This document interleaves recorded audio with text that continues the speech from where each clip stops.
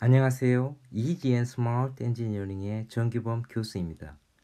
이번 시간에는 리미터 회로 중 제너 다이오드를 이용한 리미터 회로를 설계하겠습니다. 제너 다이오드를 사용하면 제너 전압을 이용해서 다양한 전압으로 리미터 회로를 구성할 수 있겠습니다.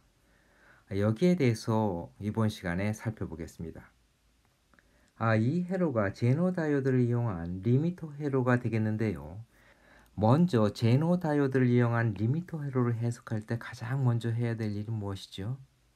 이것은 바로 제너 다이오드의 동작 영역을 파악하는 것입니다.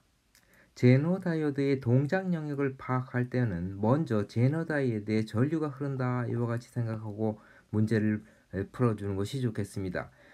먼저 저항에 흐르는 전류가 제너 다이오드를 통해서 흐를 텐데요. IR 전류가 플러스인 경우를 한번 생각해 보겠습니다. 이와 같이 전류가 흐른다면 제너 다이오드 Z1은 어떻게 되는 것이죠? Z1은 forward bias가 되는 것입니다. 따라서 이 전압은 어떻게 되겠죠? 0.7V가 되겠습니다. 다이오드의 forward drop이 0.7V라고 가정하면 이 전압은 0.7V가 되는 것이지요. 한편 제너 다이오드 2는 어떻게 되죠? 이와 같은 전류가 흘렀다면 제너 다이오드 Z2는 제너 영역에서 동작했다 이렇게 보면 되겠습니다. 제너 영역에서 동작하면 제너 다이오드의 전압은 바로 제너 전압인 VZ2가 되겠습니다.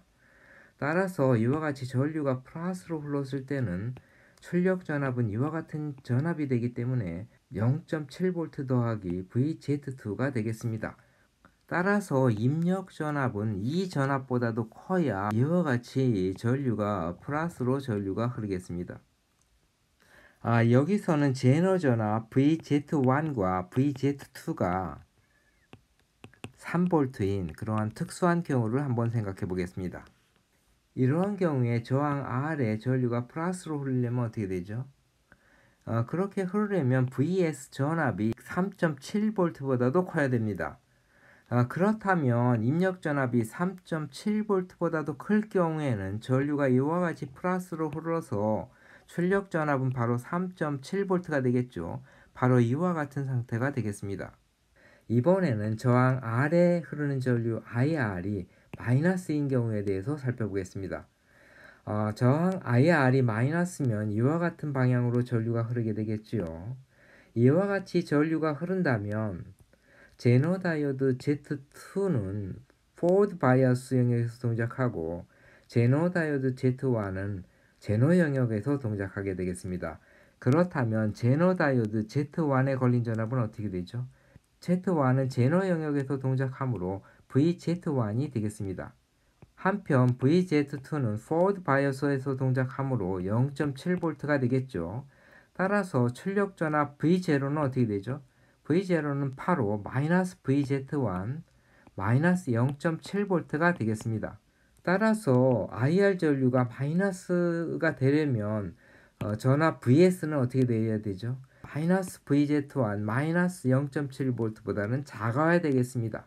아, 그렇다면 VZ1이 마이너스 3V라면 VS가 마이너스 3.7V보다도 작으면 어떻게 되죠? 어, 그렇게 되면 이와 같이 3.7V보다 작으면 출력 전압은 마이너스 3.7V가 되는 것이죠.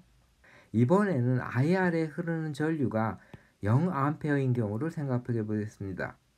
아, 이런 경우에는 플러스 전류도 흐르지 않고 마이너스 전류도 흐르지 않는 경우인데 이것은 조금 전에 에, 살펴본 바와 같이 VS라는 전압이 3.7V보다는 작고 마이너스 3.7V보다는 큰 경우가 되겠습니다. 바로 요 사이의 전압이 되겠습니다. 그런 경우에는 어, 출력 전압은 여기에 전류가 흐르지 않기 때문에 저항에 걸린 전압이 0V가 되는 것이죠. 따라서 입력 전압과 출력 전압이 같게 되겠죠. 저항에 걸린 전압이 0이 되니까요. 따라서 출력 전압은 어떻게 되죠? 바로 입력 전압과 동일하게 되겠습니다.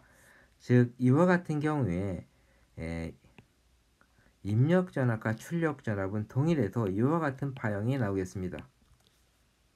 따라서 제너 다이오드 리미터 회로를 한번 정리해 보겠습니다. 플러스 전류가 흐를 때는 어떻게 되죠? 입력 전압이 3.7V보다도 큰 경우가 되겠습니다. 이 경우에 출력 전압은 3.7V로 limit 되겠습니다.